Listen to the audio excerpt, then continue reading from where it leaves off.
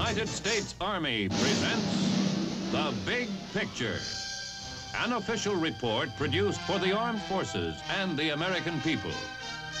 Now, to show you part of the big picture, here is Sergeant Stuart Queen.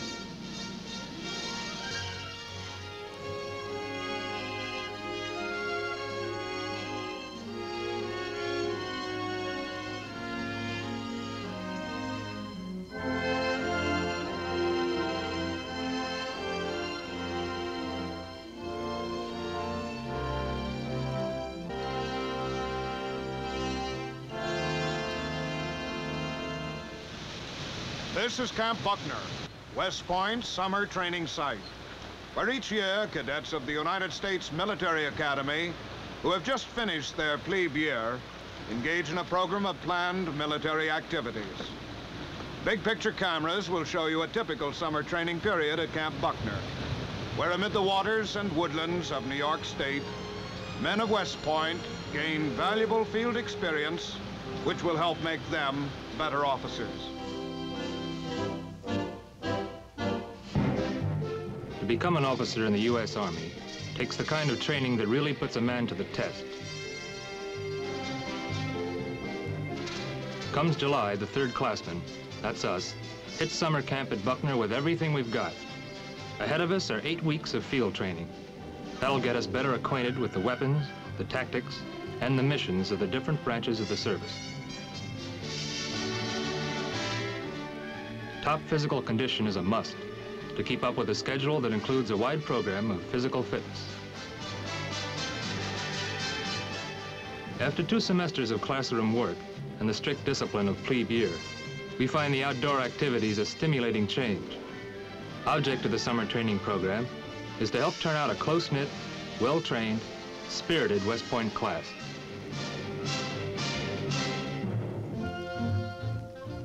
Field instruction begins with the basic weapon of the soldier, the rifle. Once we've mastered the mechanics of the weapon on a known distance range, we move on to a transition range. Here, the firing is under more natural conditions, using whatever cover is available.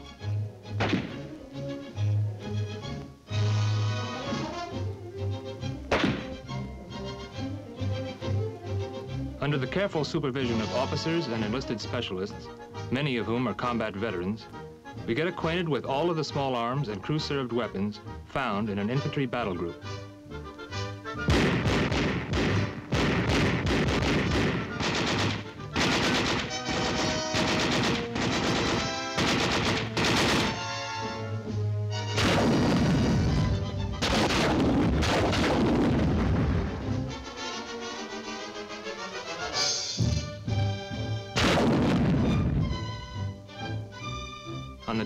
Fire range, a new element is added, the use of terrain-type targets.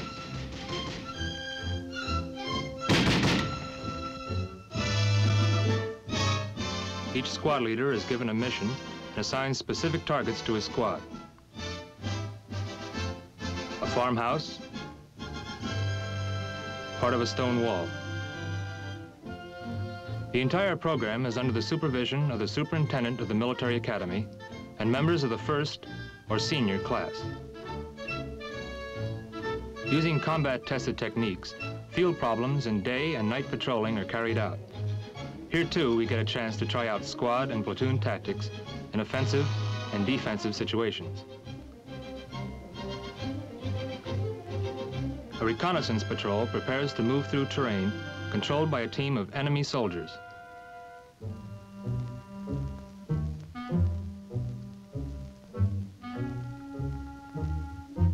Unlike a combat patrol, the reconnaissance patrol is under orders to avoid a fight unless one is necessary to accomplish their mission.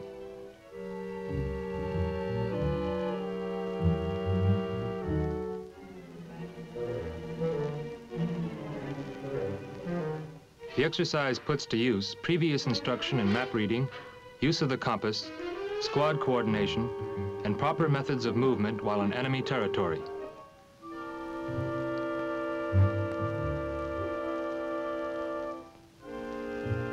Small-scale problems like these pave the way for larger problems which follow. Squad exercises give way to platoon exercises.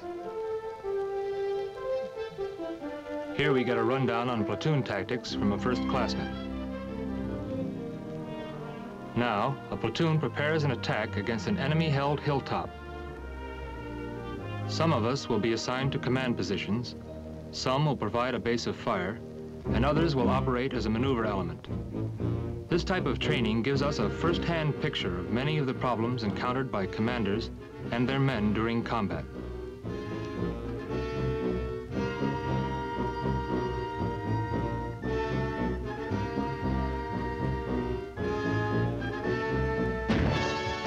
The simulated artillery preparation opens the attack.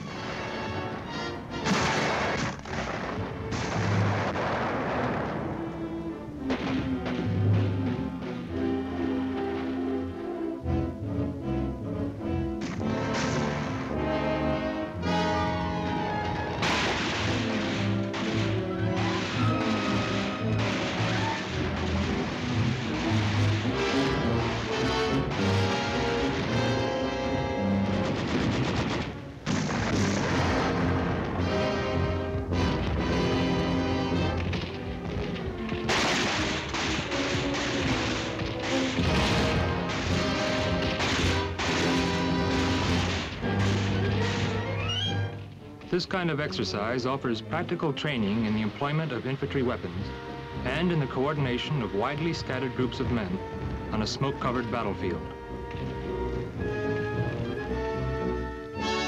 Weapons and tactics are only part of summer training at Buckner. This tower supports a platform standing 65 feet above the surface of Lake Popolopen. Called Buckner Slide, it is one of several confidence courses. And it sure takes plenty of confidence to take that first step.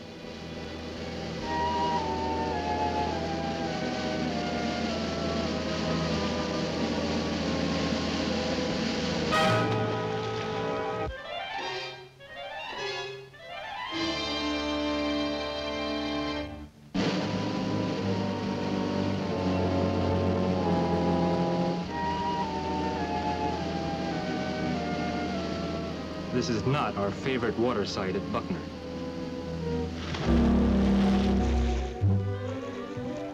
We prefer this one.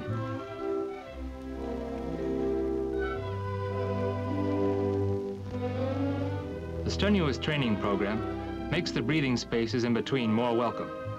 And as a relief from field exercises, Camp Buckner offers plenty of recreational opportunities. Drags or FEMS, as the girls are known, are welcome any weekday, after training, and on weekends.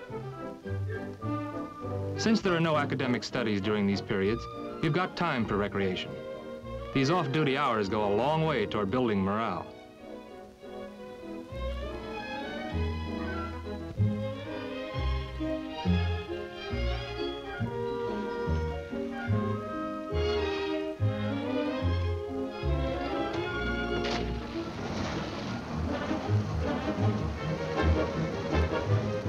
We play as hard as we work. And in addition to the water sports, there are many other recreational facilities.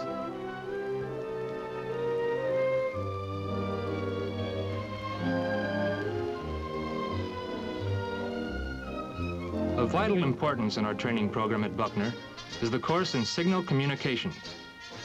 Because any successful Army operation depends on good communications, we receive extensive signal instruction. We learn how to handle field wire, switchboards, telephone equipment, and field radios. Signal Corps experts cover communication techniques and operating methods.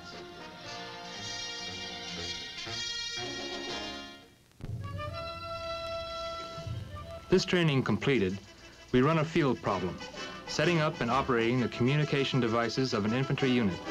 In this problem, a variety of communication techniques are employed.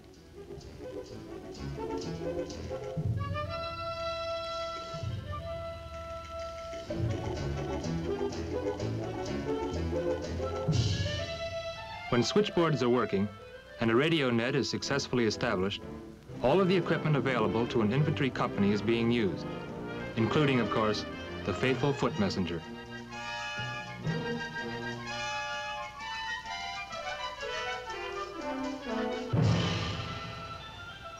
This is the site of the Field Artillery Trainer.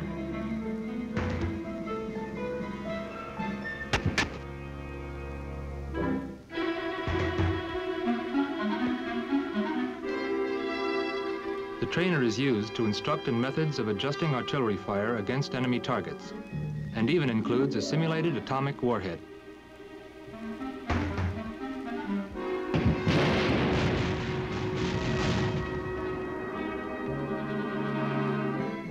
The intensive course in the missions and capabilities of artillery includes instruction in the principles of fire control.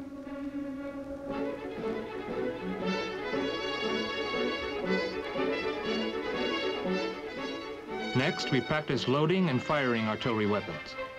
Every cadet conducts a complete fire mission using 105 millimeter howitzers and live ammunition. From an observation post, Cadet forward observers send fire missions to batteries several miles to the rear. Having called for artillery fire, the observers stand by.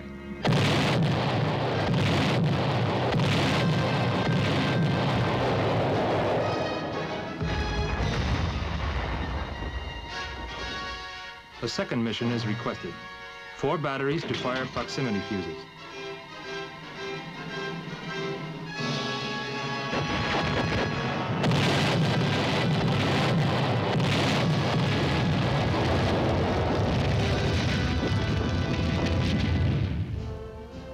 In addition to instruction in field artillery weapons, we learn about the latest guided missiles.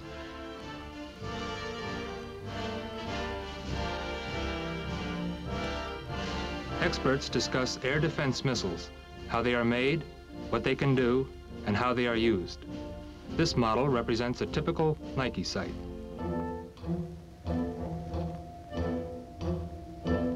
We learn how to operate the radar used with a Nike. Planes arriving and departing from New York City airports 70 miles away are easily detected. A display of the Nike Hercules, first of the Nike series capable of mounting an atomic warhead, winds up the course in artillery.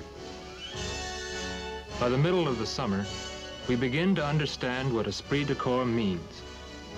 Guess the best way to explain it is pride in a job well done. Pride that helps us live up to the motto of West Point duty, honor, country.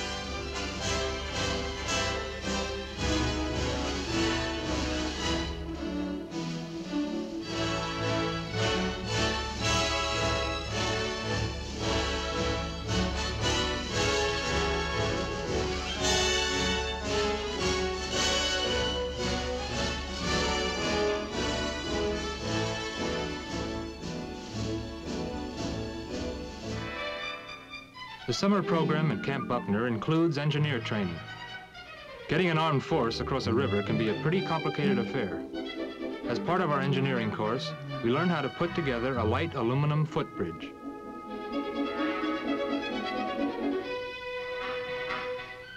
Under the eyes of construction experts and crew chiefs, each bay is assembled and the bridge quickly takes shape.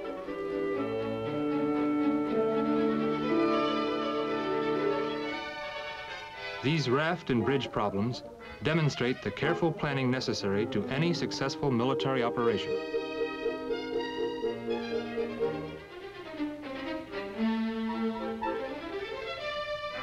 Like all of the summer training, the course in armor relies heavily on practical work.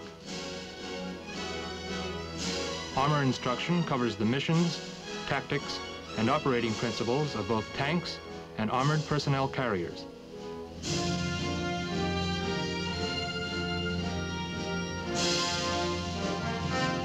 This includes tank driving under the supervision of experienced enlisted instructors. With the armored personnel carrier playing a growing part in today's Army, practice driving includes an amphibious operation to demonstrate what this unusual equipment can do.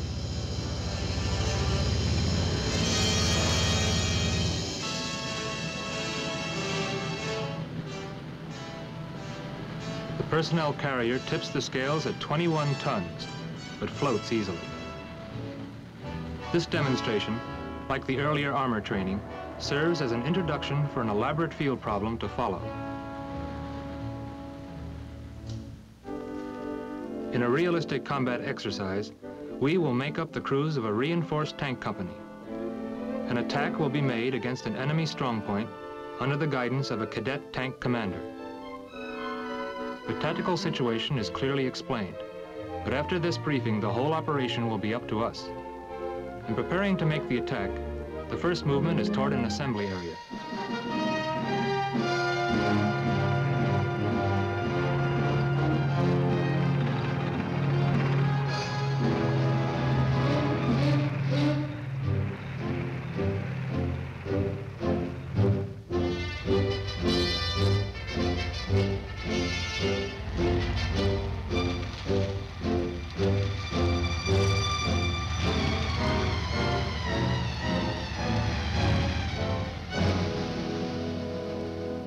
When the company has taken up carefully concealed positions, final preparations are made.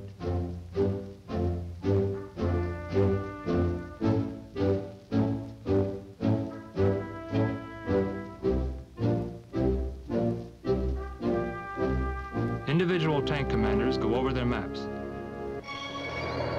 Before completing plans, the tank company commander requests an aerial reconnaissance of his attack positions. On the basis of the tactical situation, it is up to him to prepare a detailed plan of action, issue orders to his tank platoons, and then lead them against the enemy positions.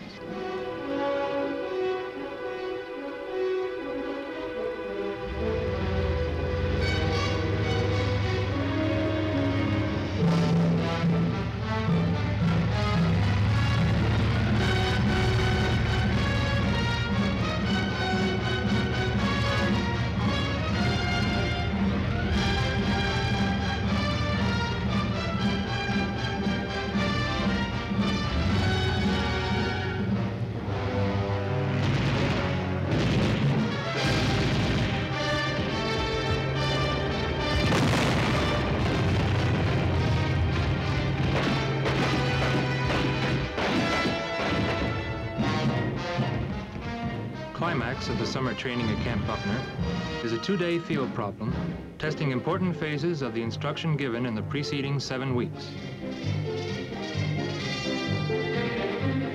This final tactical exercise includes the use of infantry, armor, artillery, engineer, and signal equipment. Helicopters, too, are used in the maneuver. In the opening phases of the two-day problem, we are given a lift by H-21 Flying Bananas.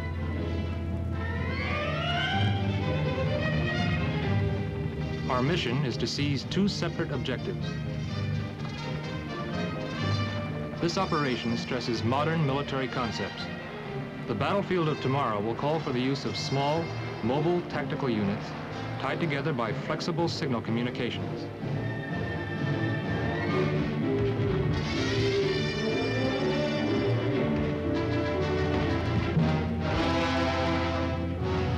As one of our assault teams lands on a sheltered ridge below a hilltop and storms out to capture a guided missile launching site, another, smaller unit moves in to secure a nearby dam. Object, to capture the dam and all approaches leading to it, including the principal road. Also, a nearby hill which overlooks the dam must be seized.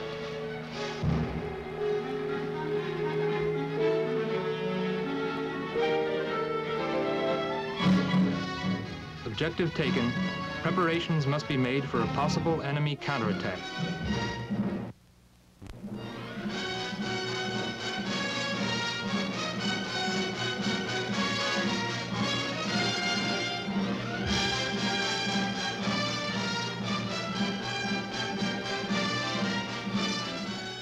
A roadblock is established with mines and carefully placed automatic weapons.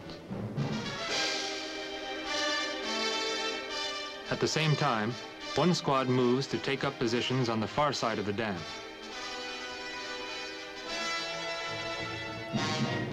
When the dam is completely secured, a smoke grenade is fired.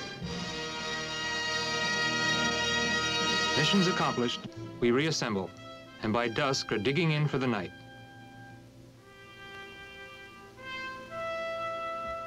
After the long day, we look forward to a quiet evening and a good night's sleep but the enemy has other ideas.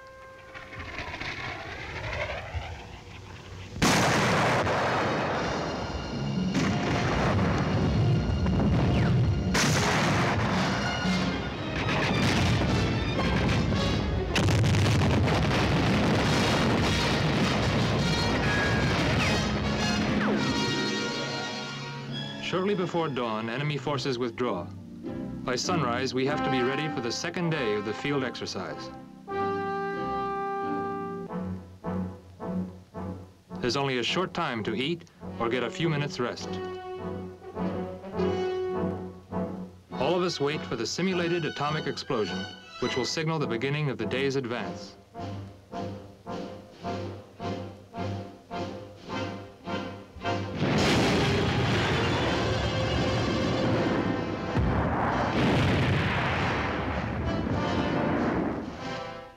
Familiar mushroom cloud rises. The order is given to move out.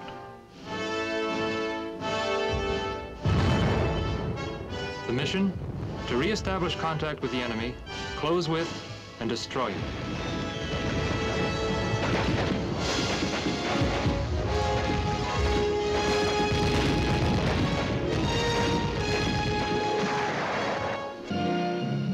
Under covering fire, a maneuver element works its way to the rear of the enemy blockhouse. Air support is requested.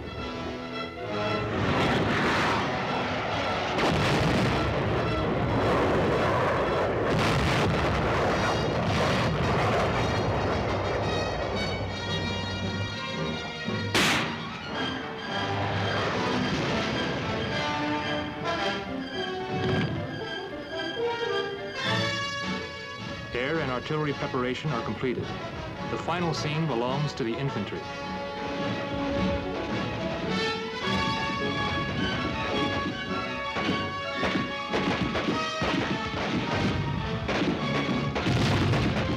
This is the last assault of the two-day exercise.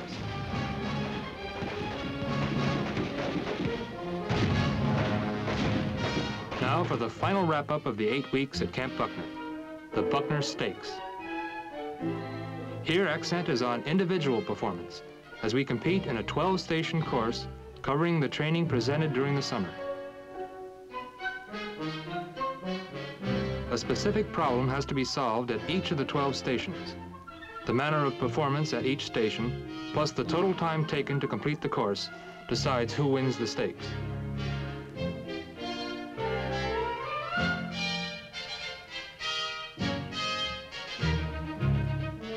This course and the other competitive activities help to build the intangibles required of every officer. Initiative, resourcefulness, leadership.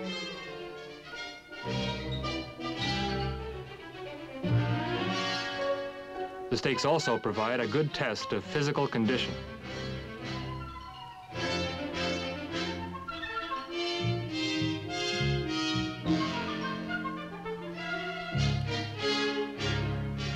The individual winners will be presented with awards at a ceremony that marks the end of the eight-week training program.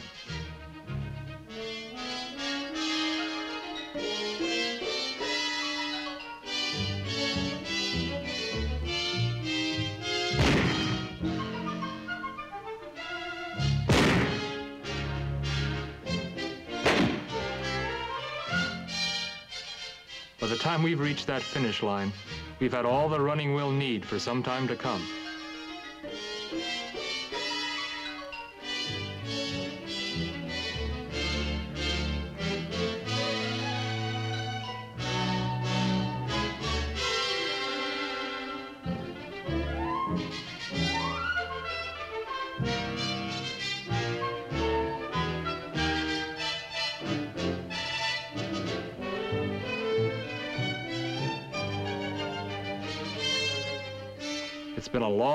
Hard summer, and the scoreboard tallies up the final scores. Entertaining families and friends is another high spot of the calendar of events.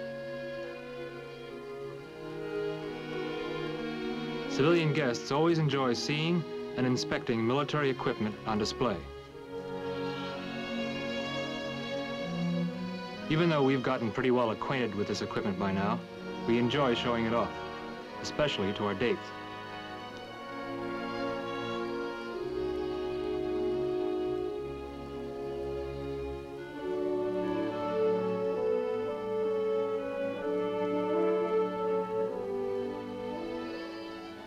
The Saturday night dances are the real bright spots on our social agenda.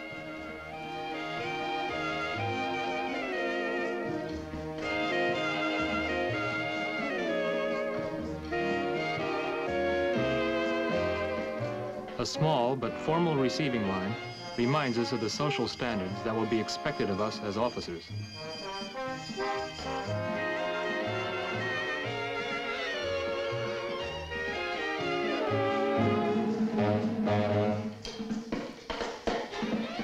But in most ways, these dances are no different from the many other dances held all over America on Saturday night.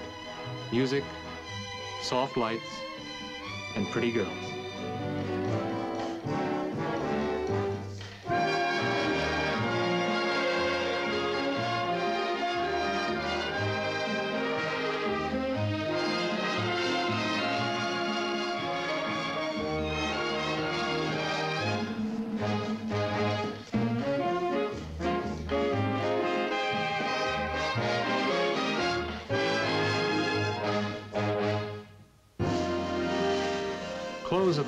Summer training is an official ceremony at which outstanding cadets receive awards for events won in the Buckner Stakes or in other training competitions.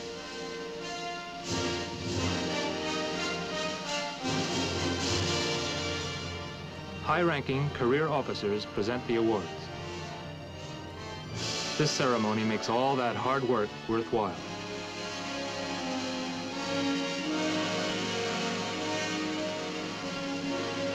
Families and friends share in the pride we feel. Moments such as these make us keenly aware of the high tradition in which we train. We follow in the footsteps of the many great men who have preceded us at the Academy.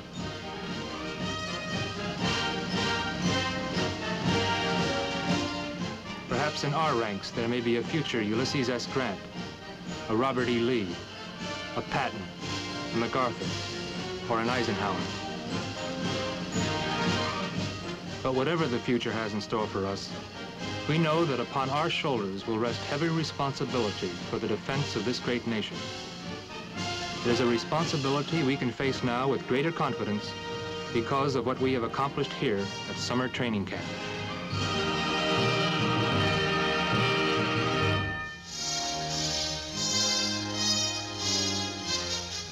Big Picture is an official report for the armed forces and the American people. Produced by the Army Pictorial Center.